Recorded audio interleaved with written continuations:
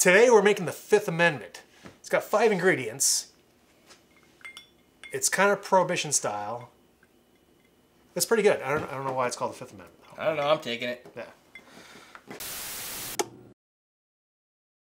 Welcome to Common Man Cocktails. I'm Derek. That's Ian. We're making a cocktail for you guys. I covered up the name. I think it's called Fifth Amendment Yeah, it's the Fifth Amendment. because it's in the top corner. What's the Fifth Amendment? The Fifth Amendment is your uh, right to uh, not incriminate yourself.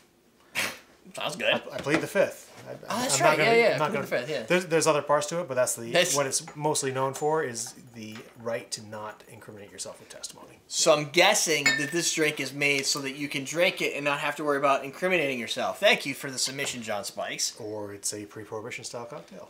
Or prohibitionary. Well, cocktail. you're here. I mean, we've got all the stuff that makes this thing need a handlebar mustache. Um, so John sent me a link to punchdrink.com. So that's where you can find it. It's by Pint and Jigger. That's a cool name. I'm guessing it's a bar. Um, the recipe ingredients are as follows: one and three quarter ounce of bourbon whiskey, one quarter ounce of yellow chartreuse, a half ounce of Fernet Branca, the regular version, uh, a half ounce of velvet, velvet falernum, which I don't have, so I'm just going to use falernum syrup, two dashes of passion fruit bitters, and a lemon peel as your garnish.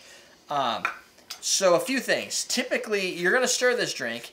In most cases, using a syrup like this, you would probably um, shake it, but it's not. It's, it's a half It's got no fruit juices either, so No, this is the closest it's gonna get. A velvet falernum is a falernum liqueur, or you know, something that's got it's an alcohol base. Um, so this might be slight tad sweeter, maybe. Uh, for passion bitter, uh, passion fruit bitters, we're using Boy Drinks World. Quite frankly, I don't know if there is any other passion fruit bitters on the planet.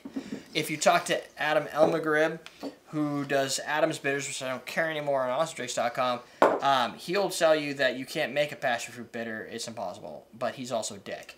So um, there's that, which is why I, How would using green chartreuse change the flavor profile? using green chartreuse will change the flavor. Great question! If you use green chartreuse, it's going to taste very similar, but it's going to be a little bit do you more. want to keep that? Uh, no, I don't- a little bit more herbal. Um, Now, do you da- do a dash like this is a dash? that's one dash, so you want two full. One dropper full. So you take it and you, Put the you whole press dropper the in. thing in, you put it in, you suck it up, and that's a Right. dash.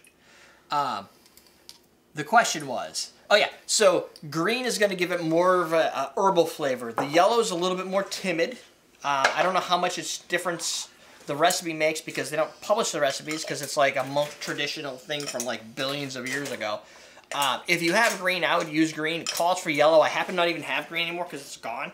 Um, I think either would be pretty safe given the small amount, even though it is Yeah. a powerful flavor It, on you know its what? own. To me, it's sort of like saying, why would you use Blanco tequila over Reposado? Reposado is going to give you a little bit more inherent flavor. It's going to be a little bit more aggressive on the flavor Given, profile. given the fact there's a quarter ounce in a uh, and a whole three ounce drink, it's probably not going to have as much of an impact. Yeah, it, it Although probably may, would if it didn't have Falernum in It it. may have a very subtle impact, but Uh, this also, the passion fruits are a subtle impact. I love passion fruit. It is a little bit bitter though. A lot of bit bitter. This is kind of tastes like Starburst candy. Um, Jay is in the chat room. oh, he is. So he's Said, probably. Yay, I thought this sounded good. he submitted 90% of the drinks this month. So. Now, if you want to get past fruit bitters, very popular actually. Uh, Boy Drinks World the, um, the oh, oh, his name's escaping me. So it's a name that's not normal sounding name. Um, Zaphod, you had to go to the books. No. Um, Ford Prefect. Yes. It, it, whatever his name is, I'm sorry, but Boy Drinks World is a great brand. He has three products. He has a walnut bitters, which he recently re- recently released. It's a lot of R's. This is his most popular. This is Serrano cocktail spice. If you like hot, spicy uh, bitters, the Serrano is hugely popular. More with bars though than um, normal humans. Most of our customers are buy like four to six of them at a time. We do get a couple every now and then, but Don't want the fingers. he's do, he's doing this. very well with his marketing because these are one of our I would think one of our better selling bitters compared to like even Fee nowadays. So Merry twenty is the coupon code. Save 25 uh, percent off at AwesomeDrinks.com to the end of December. It's good. Is this in frame and everything cool with that? Oh, sweet.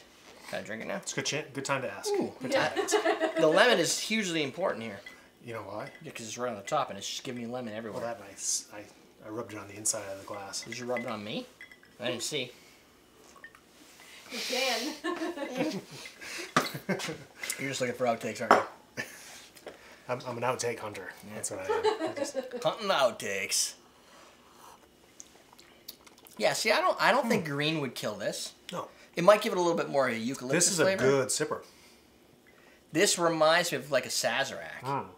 I think it's a black. There's a little bit of a black licorice. Oh wait, For that. so eucalyptus, little black black licorice, herbal. This is herbal, but it's not Hmm. As herbal herbal. as you think it would be. I like it. This should be so much stronger It's almost like a Sazerac minus the absinthe plus some Benedictine. yeah, we have a drink with Benedictine this month too. Yeah. Yeah. See, I want I. I want to all out. Um, and actually, these are mostly John. So we used for this four roses single barrel. I was gonna use the 120 Knob Creek, but I was like, that might be too aggressive.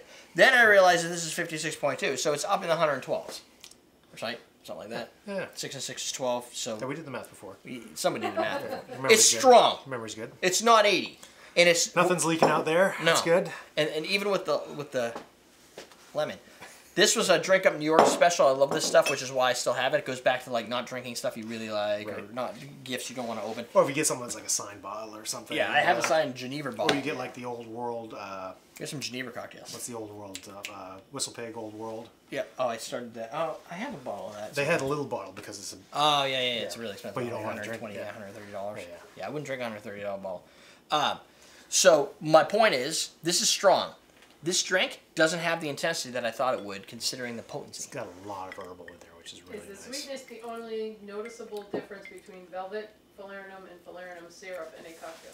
I don't know because I've never had velvet falernum. I just looked at the Stole my answer. I was gonna say the exact same thing. What you don't know? I've never. Yeah, I don't know. I've Yeah. never had velvet. but- I would like to have it, but I can't get it, and that's the problem. So my guess, based on the fact that this is the base of this is sugar, and the base of any other alcohol is more likely alcohol.